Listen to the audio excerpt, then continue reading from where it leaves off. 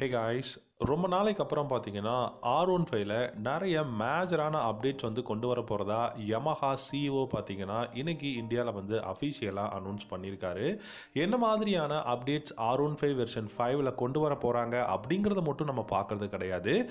எப்போ லான்ச் பண்ண போகிறாங்க அது மட்டும் இல்லாமல் ரீடிசைன் பண்ண ஆர் ஒன் ஃபைவ் வரப்போகுது அப்படிங்கிற மாதிரி சொல்லியிருக்காங்க.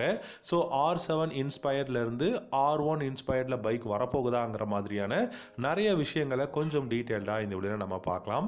உங்களுக்கு ஆர் ஒன் ஃபைவ் பிடிக்கும் அப்படின்னா ஏன் பிடிக்கும் அப்படிங்கிறத காமெண்ட் செக்ஷனில் காமெண்ட் பண்ணுங்கள் இந்த வீடியோவை கடைசி வரைக்கும் பாருங்கள் உங்களுக்கு பிடிச்சிருந்தா லைக் பண்ணிக்கோங்க. நம்ம சேனலை தயவு செஞ்சு சப்ஸ்கிரைப் பண்ணிக்கோங்க. யமஹா பார்த்தீங்க அப்படின்னா இப்போது ரொம்பவே குவைட்டாக தான் இந்தியாவில் வந்து இருக்காங்க. ஆல்ரெடி அவங்களுடைய எக்ஸிஸ்டிங் பைக்குக்கு தான் அப்டேட்ஸ் வந்து ரீசெண்டாக லான்ச் பண்ணியிருந்தாங்க. ஆர் ஒன் ஃபைவ் வெர்ஷன் ஃபோருக்கு கலர் அப்டேட் கொடுத்துருந்தாங்க. எஃப்ஜிஎக்ஸ் ஒன் ஃபிஃப்டி எஃப்ஜி மாடலுக்கு எல்லாத்துக்குமே கலர் அப்டேட் மட்டும்தான் கொடுத்துருந்தாங்க. அதில் பார்த்தீங்க அப்படின்னா மிஸ் ஆன ஒரு விஷயம் எம்டி ஃபிஃப்டீன் வெர்ஷன் டூ அதுக்கும் கூடிய சீக்கிரம் வந்து பார்த்தீங்கன்னா கலர் அப்டேட் மட்டும்தான் கொடுக்க போகிறாங்க R one five version five twenty twenty ஃபோரில் வரப்போகுதா அப்படிங்கிற ஒரு மிகப்பெரிய கொஷின் மார்க் இருக்குது நம்ம நிறைய வீடியோ பார்த்துருக்கோம். R one five version five இந்தியாவில் கூடிய சீக்கிரம் லான்ச் பண்ண போகிறாங்க அப்படிங்கிறதெல்லாம் நம்மளே வந்து பார்த்துருக்கோம். ஆனால் இந்த வருஷம் டுவெண்ட்டி டுவெண்ட்டி ஃபோரில் R one five version five வரத்துக்கான பாசிபிலிட்டிஸ் ரொம்பவே கம்மிங்க. ஏன் அப்படின்னு கேட்டிங்கன்னா இந்த வருஷம் பார்த்தீங்க அப்படின்னா நியூ ஜெனரேஷன் அப்படிங்கிறத விட நியூ மாடல் பைக்ஸ் வந்து லான்ச் பண்ண போகிறாங்க அட்வென்ச்சர் பைக் வந்து வரப்போகுது. அதே சமயம் பார்த்தீங்கன்னா நமக்கு என்ட்ரி லெவல் கம்ப்யூட்டர் பைக்கும் நிறைய லான்ச் பண்ணுறதுக்கான பாசிபிலிட்டிஸ் இருக்குன்னு சொல்லியிருக்காங்க. அதனால தான் இந்த இயரோட ஸ்டார்டிங்லேயே நமக்கு டுவெண்ட்டி டுவெண்ட்டி ஃபோரை ஃபோரோட அந்த கலர் அப்டேட் எல்லாமே எக்ஸிஸ்டிங் பைக்குக்கு வந்து கொடுத்துட்டாங்க. ஸோ ஆர் ஒன் ஃபைவ் மட்டும்தான் அடுத்த வருஷம் லான்ச் பண்ண போகிறாங்களான்னு கேட்டிங்கன்னா எம்டி ஃபிஃப்டீன் வெர்ஷன் த்ரீயும் ஆர் ஒன் ஃபைவ் வெர்ஷன் ஃபைவும் பார்த்தீங்கன்னா நெக்ஸ்ட் இயர் ஜான்வரி தான் லான்ச் பண்ணுறதுக்கான பாசிபிலிட்டிஸ் நிறையவே இருக்குது அப்படிங்கிற மாதிரியான இன்ஃபர்மேஷன் தான் வருது. ஸோ அப்படி பார்க்கும்போது இந்த வருஷம் மேபி ஒரு சில மைனரான அப்டேட்ஸ் வேணும்னா கொடுக்கலாம். But R one five version four அப்படிங்கிற நேமில் தான் அப்டேட்டும் வரப்போகுது. வெர்ஷன் ஃபைவ் அப்படிங்கிற நேமில் நியூ ஜெனரேஷன் மாடல் வரதுக்கான பாசிபிலிட்டிஸ் இல்லை. எப்படி கலர் அப்டேட்ஸ் கொடுத்தாங்களோ அந்த மாதிரி ஒரு சில சேஞ்சஸ் ஒரு சில அப்டேட்ஸ் வேணும்னா R one five version four அப்படிங்கிற நேம்லேயே வந்து கொண்டு வரலாம் அப்படிங்கிறது தான். ஸோ என்ன மாதிரியான அப்டேட்ஸ் நெக்ஸ்ட் இயர் வரப்போகிற ஆர் ஒன் ஃபைவ் வெர்ஷன் ஃபைவ்ல நம்ம பார்க்கலாம். அப்படின்னா கண்டிப்பாக ஆர் ஒன் ஃபைவ் வெர்ஷன் ஃபைவோட டிசைன் வந்து சேஞ்ச் பண்ணியிருப்பாங்க கண்டிப்பாக மேஜரான அப்டேட்டாக இருக்காது டிசைன் அப்படிங்கிறது. ஒரு ஒரு ப்ரைமரி அப்டேட்டாக பண்ணாமல் ஒரு ஒரு செகண்டரி அப்டேட்டாக பார்த்தீங்க அப்படின்னா டிசைன் வந்து ஒரு ரீடிசைன்டு பண்ண டிசைனாக தான் இருக்க போகுது. ரெண்டாவது பார்த்தீங்கன்னா கார்னரிங் ஏபிஎஸ் கண்டிப்பாக இந்த ஆர் ஒன் ஃபைவ் வெர்ஷன் ஃபைவ்ல நெக்ஸ்ட் இயர் லான்ச் பண்ண போகிற ஆர் ஒன் ஃபைவ்ல கொண்டு வர போகிறாங்க ஸோ கார்னரிங் ஏபிஎஸ் கண்டிப்பாக வேணும். ஏன்னா அந்த அளவுக்கு பார் அண்ட் டார்க் இருக்குது அந்த அளவுக்கு பார்த்தீங்கன்னா comfortable aerodynamics body panel எல்லாமே சூப்பராக ரொம்பவே ஸ்லீக்காகவும் வந்து கொடுத்துருக்காங்க.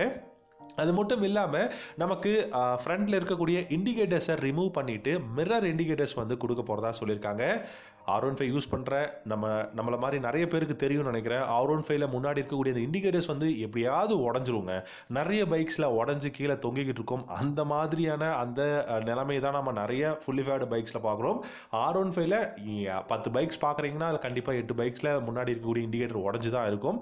ஸோ அதை வந்து பார்த்திங்க அப்படின்னா ரீப்ளேஸ் பண்ணுறதுக்காக மிரர் இண்டிகேட்டர்ஸ் கொடுக்க போகிறாங்க அண்ட் தென் நமக்கு monochrome LED headlamps new generation so new updated bi functional LED headlamps வந்து கொண்டு வர போகிறாங்க இன்ஜின் ரிஃபைன்மெண்ட் ஸோ வைப்ரேஷன் லெஸ்ஸாக இருக்கும் அப்படிங்கிறத சொல்லியிருக்காங்க. அது மட்டும் இல்லாமல் நமக்கு initial pickup top in performance எல்லாமே ஏழு பர்சன்ட்லேருந்து பத்து பர்சன்ட் வரைக்கும் இன்ஜினோட பர்ஃபார்மன்ஸை பூஸ்ட் பண்ண போகிறோம் அப்படிங்கிறதும் யமஹா அனௌன்ஸ் பண்ணியிருக்காங்க.